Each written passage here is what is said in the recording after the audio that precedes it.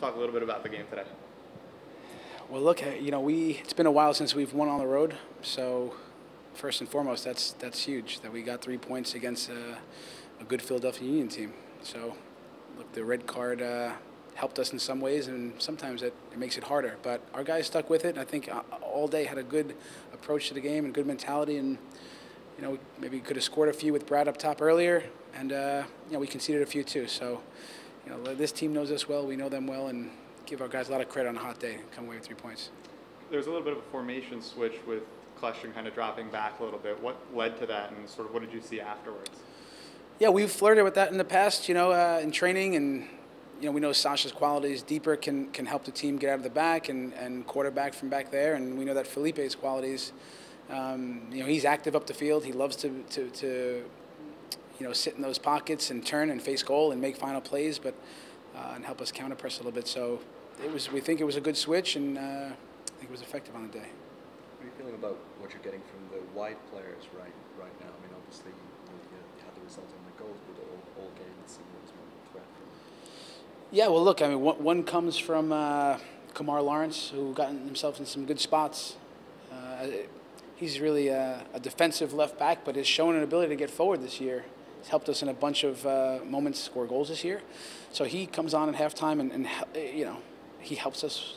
Brad makes a great near post run, so we knew that that's where the space would be in the wide areas, and so Kemar helped us there. And then Sal Zizzo, uh, who's been an, an, outside right back for us this year, we put him in a more of attacking role because we know he can make final plays and, and, brings quality and some speed on the flank. Again, where we knew there might be space, and you know he didn't uh, get as many touches as we'd like, but sure, he, he made the one uh, add up.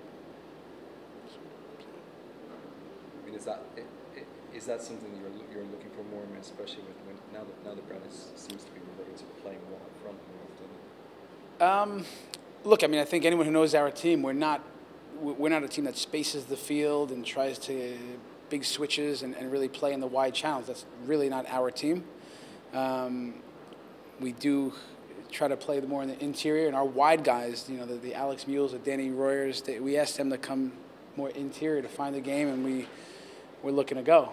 So, uh, yeah, I mean, we part of that with your outside midfielders being playing in those interior spots is leaves room for the outside backs. So again, in certain games, um, especially then was a red card when the teams sat back. That's where we thought there would be some space, and it looked for a little bit that we might not be able to, to get one because Philly did a good job defending. But uh, yeah, we broke through.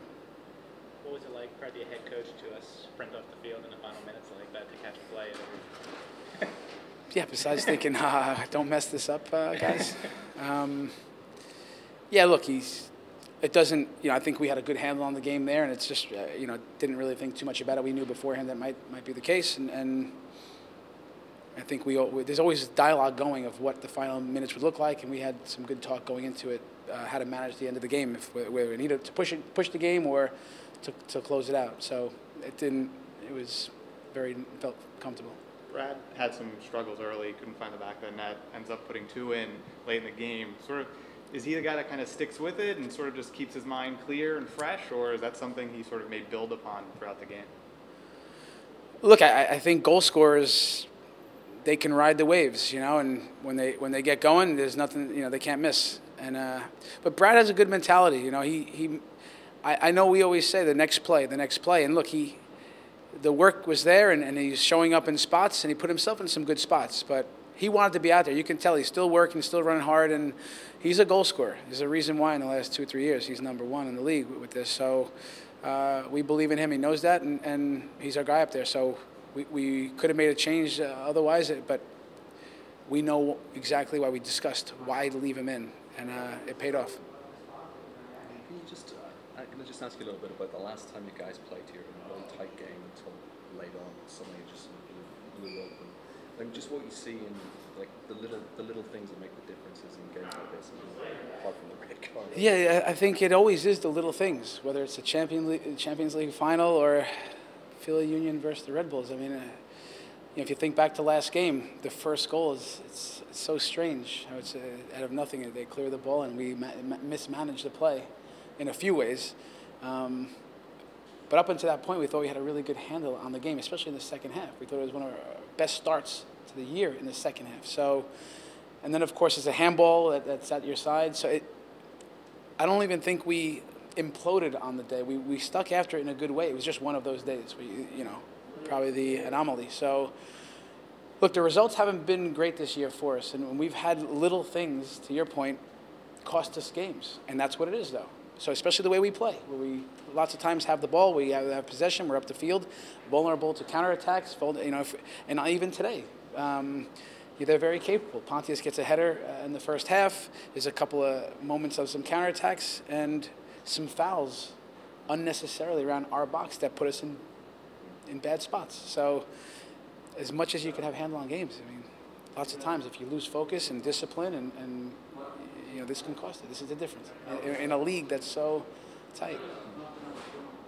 What is the plan for you coaching wise this week? And and just when does uh, Jesse get back? Is it Friday or? Yeah, he'll be back uh, towards the end of the week. I believe it's Friday, and, and um, yeah, we again we've talked uh, in detail what the week would look like and what what uh, you know, we have a, a typical schedule that we go to. Uh, the good thing is that we're playing an opponent next weekend uh, that we just played, so the, preparation is we know we know almost to repeat what we just went through last week. Um, so yeah, we we're off for a couple days. Uh, we had a, a long week this week uh, with two games in the week, and um, we have a good plan going into New York. But right now, it's about enjoying this this win, stay stay uh, with a good mentality, and, and get ready physically and mentally for what's what's ahead. Thanks, Chris. All right, guys. Thank you.